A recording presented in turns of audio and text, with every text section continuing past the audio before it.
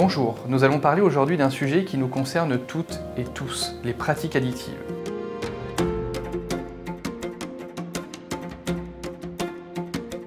Tu tiens pas à l'alcool, tu bois pas, c'est tout. J'en ai parlé à mon médecin. Il m'a donné euh, ce qu'il faut pour tenir le coup. Il existe différents facteurs qui peuvent influencer et favoriser le développement de pratiques addictives.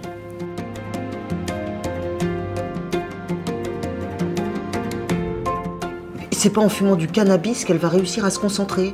Je l'ai deux week-ends par mois, crois-moi que si elle fumait du cannabis, je le saurais. Malgré la maladresse d'Anne sur le plan de la communication avec sa fille, le plus important est d'aborder le sujet.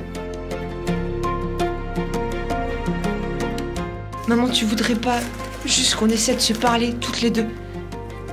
S'il te plaît.